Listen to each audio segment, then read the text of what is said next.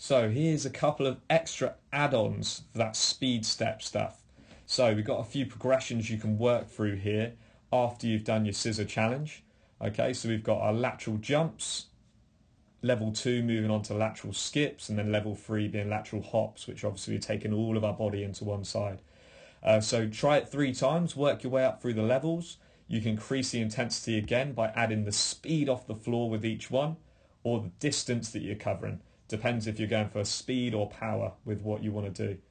Uh, really key that we're using the inside of the foot to land and explode off.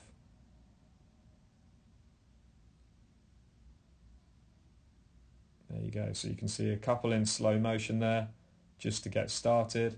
Trying to land on the inside of the foot. Try and coil up that, that elasticity to then drive off without the outside of the foot landing with too much weight. This is useful where we can use our markers, so we can try and reach at least across our markers. As you can see, muscles are taking the weight, not landing straight-legged into our joints.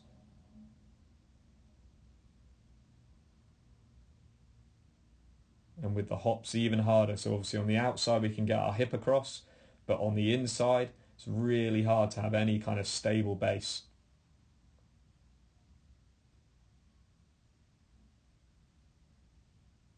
And just again, be careful of those knees. Make sure they're not turning in when we're on that single leg. You can see how the body position changes. So the leg wants to be the furthest part out, driving us across. So our small step strength progressions now. So we've done a little bit of speed stuff, a little bit of power. Um, so now find something comfortable to sit back into. If you're indoors, then great. That'll be fine. If not, um, if you're outside, then maybe do this one on some grass because our back knee is going to be going onto the floor at some point. So again, working our way through the levels, just a few different single leg squat stuff. And if you can, the last one, the shrimp squat, I'm still working on myself. So see if you can beat me to 10.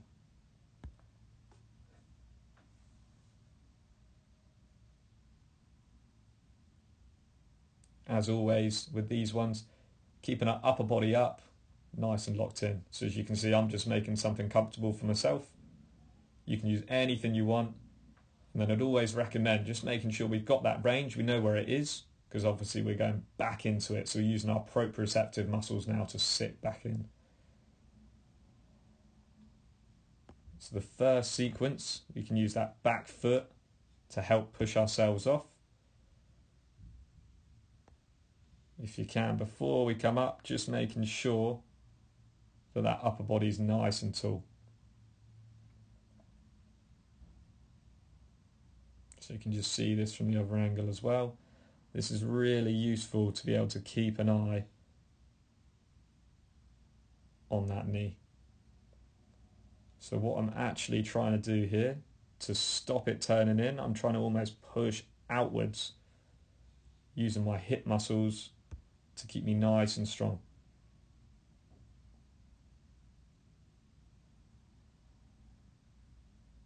So next progression now.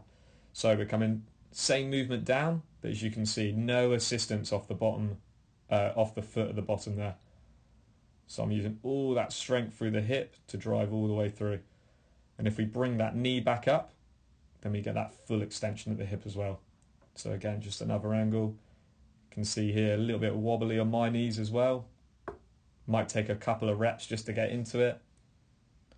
And again, if your back knee doesn't reach the floor and you don't feel comfortable going to that range, just go as low as you feel comfortable.